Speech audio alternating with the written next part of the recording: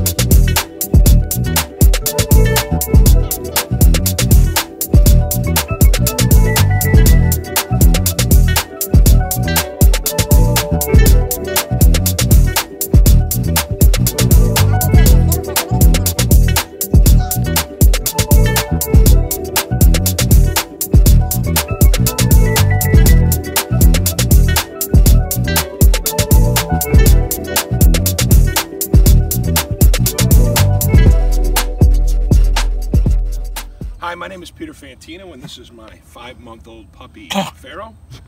He was a, a typical puppy, had issues, training issues, listening issues, jumping up on tables, potty training, and housebreaking. Um, and we brought him to the tra trainer, and here's the result. Come, Farrow. Heel.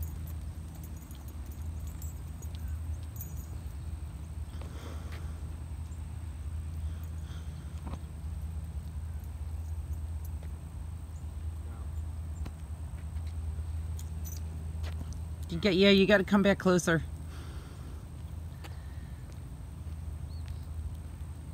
Look at that. Oh my God.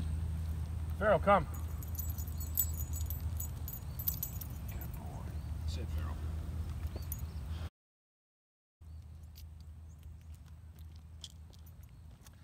Jonathan was our trainer at Canine Off the Leash Training, and he did a fantastic job. Jonathan Castro.